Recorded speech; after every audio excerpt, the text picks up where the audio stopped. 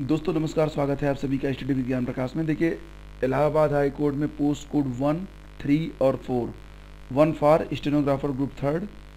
Three for driver, group fourth. And group D, core post के लिए जो revise answer की आनी थी, वो आ चुकी है। ऑफिशियल लिंक आपको वीडियो के डिस्क्रिप्शन मिल जाएगा। वहाँ पर जाके आपको एस टी पे जब आप क्लिक करेंगे, एक नया विंडो ओपन होगा।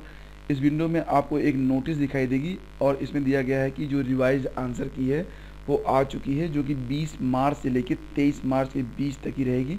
यानी कि अगर आपको इसे सेव करना है या कुछ भी करना है तो तेईस तेईस से पहले आपको करना होगा। नीचे देखो, ये एक लिंक दिया गया है। जैसे आप इस पर क्लिक करते हो, एक नया विंडो ओपन होगा। और इस विंडो में देखो, दो जगह से आप रिवाइज आंसर की को चेक कर सकते हो। पहला तो ये कि रिवाइज आंसर की ये देखो, ऊपर टैग लाइन चल रही है, इस पर आपको क्लिक करना होगा। नीचे रिवाइज आंसर की यहाँ पे भी आप क्लिक कर सकते हो। जैसे आप इस पर क्लिक करोगे नया विंडो ओपन हो जाएगा। इसमें registration number date of birth डाल के लॉगिन करना होगा और इस तरीके से अपना आप नया आंसर की देख सकते हो। दोबारा से बता देता हूँ कि जो पोस्ट कोड टू है, जिसमें जूनियर असिस्टेंट और पेड अप्रेंटिस के लिए पोस्ट थी कुल सत्रह सौ छियासी पद था इसमें। तो इसके लिए कोई भी रिवाइज आंसर की नहीं आनी है। अब आगे चल के इसमें सिर्फ़ टाइपिंग बाकी है, जो कि बहुत जल्द होगी। शेड्यूल बहुत जल्दी जारी हो सकता है एनी टाइम ठीक है?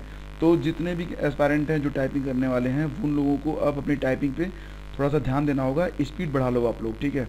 और स्पीड कर लो, क्योंकि बस इसमें अगर आपकी स्पीड ठीक ठाक काम कर गई तो आपका सिलेक्शन पक्का है। तो हार्दिक शुभकामनाएँ आपकी सफलता के लिए, मिलते हैं अगली बार। वीडियो का प्रयास अच्छा लगता है तो लाइक कर देना, और पहली बार चैनल पर सब्सक्राइब कर लेना, ताकि लेटेस्ट अपडेट आपको लगातार मिल सके। इसके लिए बेल आइकान पर भी प्रेस कर देना। तो मिलते हैं अगली बार, तब तक के लिए नमस्कार, जय हिंद, जय भारत।